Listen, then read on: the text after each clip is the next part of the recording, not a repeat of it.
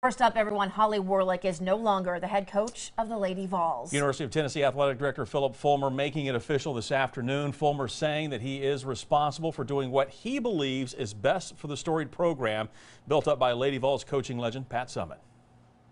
The success of the Lady Vols will always, always continue.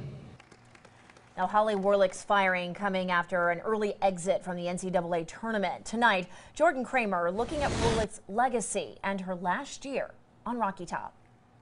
Before the eight national championships, before the 17 SEC tournament championships and 18 regular season titles, Holly Warlick was a Tennessee Vol. Just a teenager when her association with the Lady Vols began, Warlick was a scholarship track athlete who ended up walking on to the basketball team. I started out as a kid from Knoxville, Tennessee with a dream. My dream, it came true.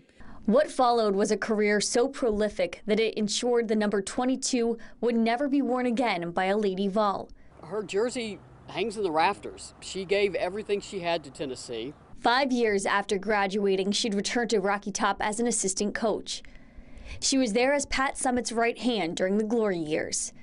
There, too, when the program went through its darkest hours when Pat Summitt was diagnosed with Alzheimer's. And I need you right now, I want you to listen to this, to step up more than ever to support our new head coach, Holly Warlick.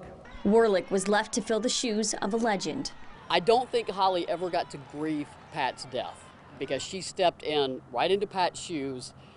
And as anybody who followed John Wooden, Dean Smith, whoever follows Nick Saban, when you follow someone like that, the shadow is long. Early on, SEC championship titles and Elite Eight appearances. The success not matched in what's now known as her final season.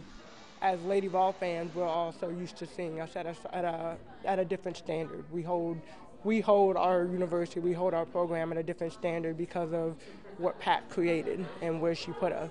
And you know, now that we're not where we are or where we used to be, people are just kind of up in arms about you know what's the next steps. Warlick's last year at the helm included the wrong kind of firsts, a program-long losing streak, the lowest seeding in the NCAA tournament in program history. And while the program faltered, her love for the university never did. If I had a daughter, I'd send my daughter, whether I'm coaching or not, I'd send her to the University of Tennessee because they care about women. They care about women. And you don't, that's what you want. You want a woman to have, have that opportunity to be successful, and that's where you need to go. Warlick's 38 year association with the Lady Vols now over.